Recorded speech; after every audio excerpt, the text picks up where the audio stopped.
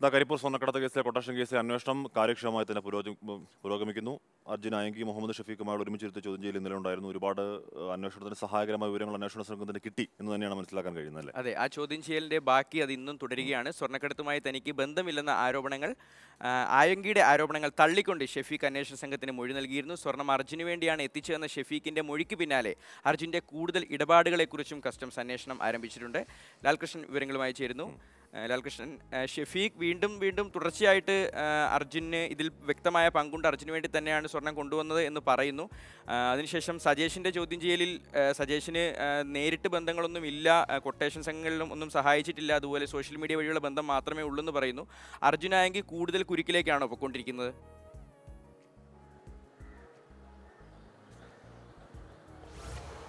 തീർച്ചയായിട്ടും സംഭവവുമായി ബന്ധപ്പെട്ടുകൊണ്ട് അർജുനായെങ്കിൽ പറയുന്ന വാദങ്ങളെല്ലാം തന്നെ തെറ്റാണ് എന്ന് സാധൂകരിക്കുന്ന രീതിയിലാണ് ഷെഫീഖിന്റെ മൊഴി കസ്റ്റംസിന് ലഭിച്ചിട്ടുള്ളത്. ഷെഫീഖ് പറയുന്നതനുസരിച്ച് ഈ സ്വർണം കരിപ്പൂരിൽ അർജുൻ വാങ്ങാൻ വരും എന്ന കാര്യം അവിടെ നിന്ന് തന്നുവിട്ടവർ തന്നെ പറഞ്ഞിരുന്നു എന്നുള്ള കാര്യം തന്നെയാണ് വ്യക്തമാക്കി പറയുന്നത്.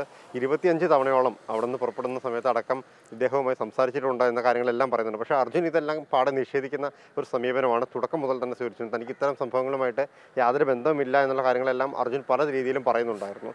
ഇതുമായിട്ട് ചേർത്ത് വെച്ച് എന്ന മൊഴി തന്നെയാണ് ഇന്നലെ ചോദ്യം ചെയ്ത സജീഷിന്റെ മൊഴിയുള്ളത്. ഈ അർജുനുമായിട്ട് തനിക്ക് ഈ സമൂഹ മാധ്യമങ്ങൾ വഴിയുള്ള ബന്ധമല്ലാതെ മറ്റ് ബന്ധങ്ങളൊന്നുമില്ല എന്നുള്ളതാണ് സജീഷൻ പറഞ്ഞത്. പക്ഷേ സജീഷ് എന്ന് പറയുന്ന വ്യക്തി അർജുന്റെ ഒരു ബിനാമിയാണ് എന്നുള്ളത് തന്നെയാണ് കസ്റ്റംസ് കണ്ടെത്തിയിരിക്കുന്നത്. മാത്രമല്ല ഡിജിറ്റലായിട്ടുള്ള തെളിവുകൾ ശേഖരിച്ചുകൊണ്ട് അർജുനെതിരെ കൂടുതൽ കാര്യങ്ങൾ കണ്ടെത്താൻ സാധിക്കുന്നുണ്ട് എന്നുള്ളതാണ്.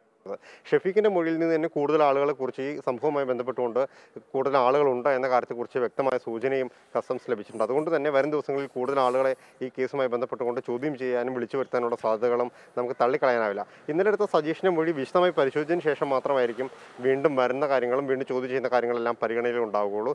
എന്ത് തന്നെയാണെങ്കിലും സജീഷിന്റെ മൊഴി പൂർണമായി വിശ്വസിക്കാനൊന്നും കസ്റ്റംസ് ഇതുവരെ തയ്യാറായിട്ടില്ല. മാത്രമല്ല ഇവരെ കസ്റ്റഡി ഈ ഷെഫീഖിന്റെയും അർജുന്റെയും കസ്റ്റഡി വീണ്ടും തുടരുന്ന സാഹചര്യമുണ്ട്. അതുകൊണ്ട് തന്നെ ഇരുവരെയും ചോദ്യം ചെയ്ത് കൂടുതൽ തെളിവുകൾ കണ്ടെത്തുക എന്നുള്ള സംവിധാനത്തിലേക്കാണ് നിലവിൽ കസ്റ്റംസ് പോയിക്കൊണ്ടിരിക്കുന്നത്. ലാൽകൃഷ്ണനാണ് കൊച്ചിയിൽ നിന്ന് വിവരങ്ങൾ നൽകിയത്.